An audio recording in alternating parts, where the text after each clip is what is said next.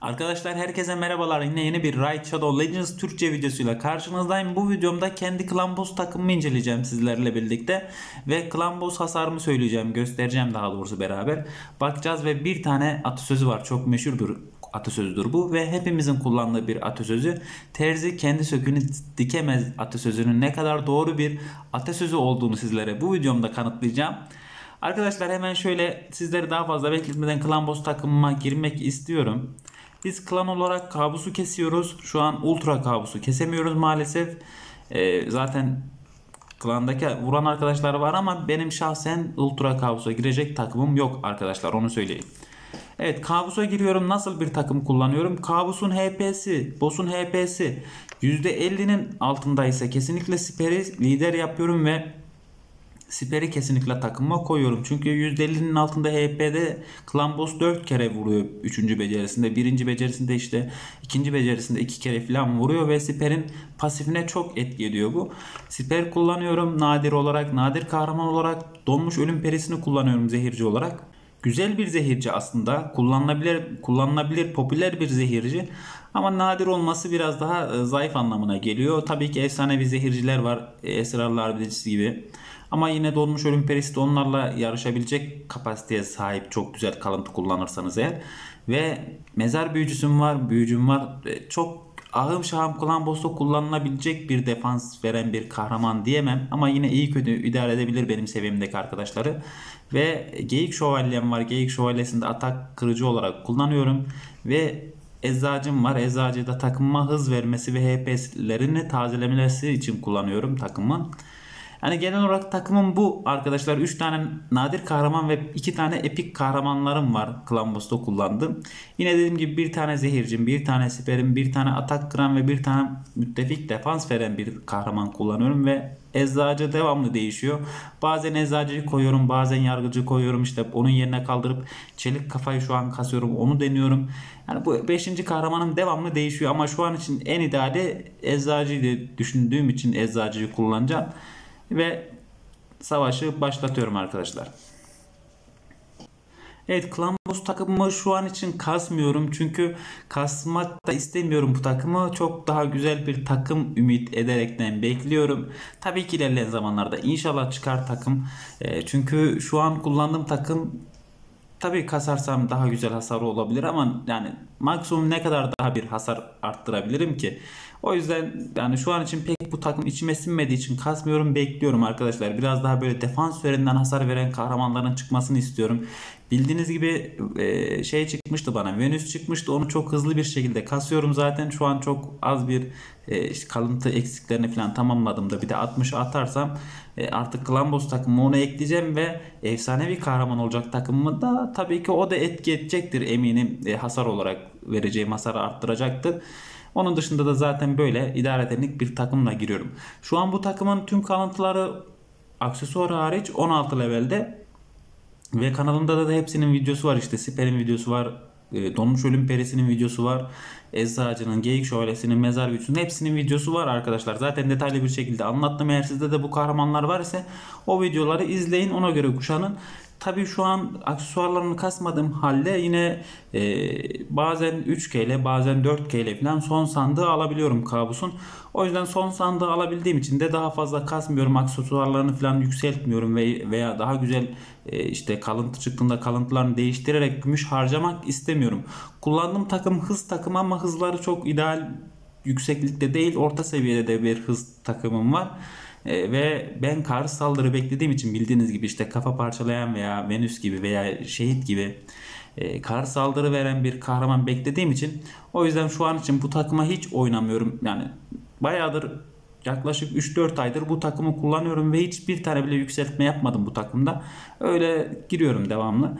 Beklediğim bir tane karşı saldırı veren bir kahraman arkadaşlar. Karşı saldırı veren bir kahraman çıkmadan şimdi ben bu takımı hız takımı yaparsam karşı saldırı veren bir kahraman çıktığında tekrar tüm kalıntılarını değiştirip e, karşı saldırının takımına göre bir hız ayarlama yapacağım için bu da beni gümüş olarak e, gerilecek yani gümüş olarak zarara sokacak. İki kez gümüş harcamış, harcamış olacağım. O yüzden de şu an için hiç kalıntılara dokunmuyorum. Mevcut takımımla giriyorum. Dediğim gibi bazen 3 bazen 4K ile kabusun son sandığını alıyor, alabiliyorum. İşte dediğim gibi arkadaşlar takımım bu. Birçok arkadaşımıza ölümsüz takım falan yapmasında yardımcı oldum veya hasarlarını yükseltmesi için e, bazı tiyolar, taktikler falan vermeye çalıştım, bilgiler aktarmaya çalıştım. Özel olarak veya işte bu yorumların altında YouTube kanallarımdaki videoların altında yorumlarda falan veya işte Instagram'dan, Discord'dan falan yardımcı olmaya çalıştım. Ve sizler de görüyorsunuz ki benim de gerçekten Klambos'ta bir yardıma ihtiyacım var arkadaşlar. Ee, şimdi şöyle söyleyeyim. Bazen kahraman olmadan hiçbir şey yapamıyorsunuz arkadaşlar. İstediğiniz bir kahraman olmadan yani şimdi arkadaşlar diyor ki bazen e, bu klamboslarla ilgili işte klambos hasarımı nasıl arttırabilirim veya işte elimdeki kahramanlar şunlar şunlar var. Örnek veriyorum benim takımım gibi bir takım var arkadaşım ve klambos hasarını arttırmak istiyor. Arkadaşlar şimdi zaten bu takımın kapasitesi bellidir. Şimdi çok daha yüksek bir şekilde kalıntılarını yükselterek gümüş harcarsanız eğer bu takım hadi diyelim maksimum artarsa kabusta e, çok fazla güzel bir defans arttırırsanız tabii ki çok daha yüksek hasarlar verebilirsiniz ama şu an ben mevcut elimdeki kalıntılarla arttırsam bunu en fazla 5 milyon daha hasarını arttırırım. Yani 20 milyon falan vurup 2 ile de alabilirim. Ama şu an dediğim gibi bu takım içime sinmediği için o yüzden kasma gereği duymuyorum. Ve sizler de elinizdeki kahramanlardan yeterli verimi alamıyorsanız bu kahramanın eksikliğidir. Ve işte şimdi Geyik Şövalyesi bildiğiniz gibi atak üzerinden hasar vuran bir kahraman ve o yüzden vurduğu hasar çok düşük. Mezar büyücüsü atak üzerinden hasar vuran bir kahraman vurduğu hasarı çok düşük. E, Spider öyle çok güzel bir kahraman değil ama benim gibi e, Glampus takımında sıkıntı çeken arkadaşların kullanabileceği bir kahraman. Ama dediğim gibi çok güzel bir kahraman değil. Yani takım olarak şu an bu takım Klambos'ta kullanılabilecek ideal bir takım ama üst seviyedeki arkadaşlar için ideal bir takım değil. Benim seviyemdeki arkadaşlar için bu takım çok kötü bir takım arkadaşlar. Yani şu an ben e, bu takımı uzun zamandır kullanıyorum ama hiç memnun değilim ve renk değişimi olduğunda özellikle kırmızı renge döndüğünde hasarım işte 12 ile 13 milyon veya işte bazen 11 milyona kadar falan düşüyor. O yüzden memnun değilim arkadaşlar. Ve çıkmadı. Yani karşı saldırı veren bir kahramanım çıkmadı. Çıkmadığı için de bu takımı da hiç kasmak içimden gelmedi açıkçası. Bekleyeceğim biraz daha çıkmasını dileyeceğim. Biraz daha çıkmasını ümit edeceğim. Eğer çıkmazsa o zaman bu takımı tamamen hız takımı yapacağım. Komple hız ıı, takımı işte yargıcı da kullanarak şu an işin kötüsü hız avrusu veren kahramanım da yok. Yani nasıl yapacağım bilmiyorum. Hız avrusu veren bir kahraman olursa eğer e, yüksek kağıtım vardı. Onu da maalesef işte geçenlerde zaten biliyorsunuzdur. E, işte turnuvada yemledim hepsini. O da gitti. Yani şu an için yapabileceğim hiçbir şeyim yok takımımla ilgili. O yüzden bazen dediğim gibi elden bir şey gelmiyor arkadaşlar ve e, benim gibi böyle günlük olarak 3K ile 4K ile falan son sandığı almaya çalışıyorsunuz sizlerin birçok kişi de. O yüzden sabırlı olmak gerekiyor, beklemek gerekiyor. İlla ki bir yerde ben çıkacağını düşünüyorum. Ya kar saldırı olur ya ölümsüz takım ol- olabilir. Evet şöyle bitirdik. Yani gördüğünüz gibi 10.5 milyon bir has 15.5 milyon bir hasar verdik. Yani hasar bana göre ideal, güzel bir hasar. Zaten 3K'le de bu hasarla son sandığı rahatlıkla alabilirsiniz. Gördüğünüz gibi siperin hasarı çok iyi hasar verdi. Donmuş ölüm perisi siperin sayesinde 8.5 milyon bir hasar verdi. Dediğim gibi mezar büyücüsü kullanışlı bir kahraman değil Klambos'ta ama şu an için idare tenini kullanıyorum. Hasarı çok kötü ama takımı güzel koruyor. Geyik şövalyesinin hasarı daha iyi olabilirdi. Atak kırıcıların hasarı bildiğiniz gibi çok daha yüksek oluyor. Ve işte ne bileyim Tyrell gibi veya e, mezar nöbetçisi gibi bir kahraman olsa bunun hasarı en azından bir 4000'e yakın 4 milyona yakın bir hasar olacaktı şu şu takımda.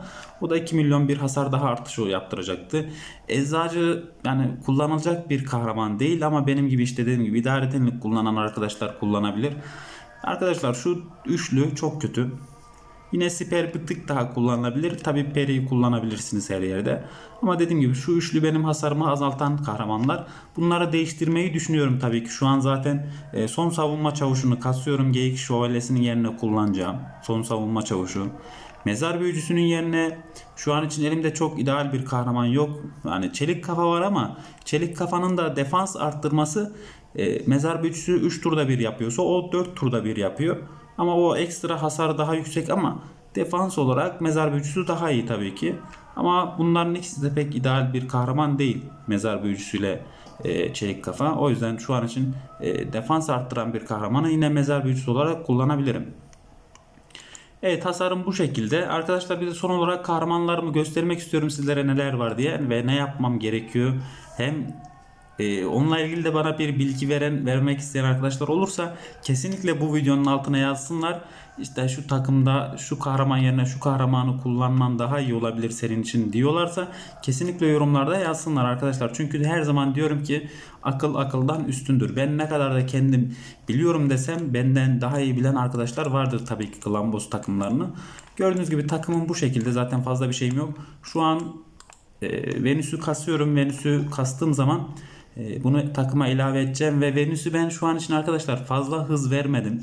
Biraz daha böyle defansını daha sağlam tuttum ve şu an 50 levelde sancak isabeti falan düşük. Sancak falan takacağız bunu. isabetini arttıracağım. Giflerle falan isabetini ben tamamlamaya çalışacağım. Eğer tamamlayamazsam buradan kalıntı değiştiririm yalnız. Ben gördüğünüz gibi arkadaşlar Venüs'ü biraz daha karşı saldırı için hazırladım. Ayakkabısını defans taktım bunun.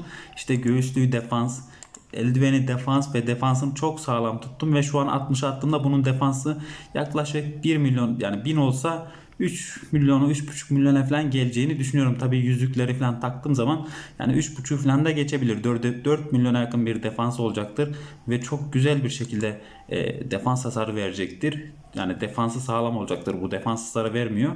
E, ama defansı çok sağlam olacağı için çok güzel bir şekilde zehir verirken de takımı e, yani kendisi uzun tur dayanacağını düşünüyorum. Tabii ki bu e, kar saldırı çıkmazsa bu ayakkabısını değiştirip hız yapabilirim. Ama umudum var çıkacak diye umudum var arkadaşlar. Gördüğünüz gibi bunu kasıyorum. Şu an için Avatar kastım. Bunu da etkinlik sırasında kasmıştım o turnuva sırasında. Şu an hiçbir şekilde kullanmıyorum. Belki ilerleyen zamanlarda ölümsüz takım yaparsam kullanabilirim. Eczacıyı zaten kullanıyorum. Şu an için kullanabilecek başka bir kahraman yok. Ee, burada acı sorumluluğum var. Kasılmış bir şekilde bunu da ustalığına açtım gibi ama yarı ustalığını açtım diyelim ama kalıntılı hiç kuşanmadım. Şu an belki ilerleyen zamanlarda bir denerim. Eczacı yerine acı sorumlusunu bireysel olarak tek başına kullanabilirim. Çünkü bunun beceri soğutma özelliği var. Ee, çelik kafayı kasıyorum arkadaşlar. Evet başka yani bunlar da pek Klambos'ta kullanabilecek güzel kahramanlar değil ama e, son savunma çavuşu da kasıyorum. Şu an bunu atak kırıcı olarak kullanacağım. Yalnız arkadaşlar size şunu belirtmek istiyorum. Atak kırıcı olarak son savunma çavuşu yeterli olur mu? Tabii ki olur ama elinizde vezir ve siper var ise siper var ise bir tık e, yeterli olabilir ama vezir var ise kesinlikle yeterli olabilir.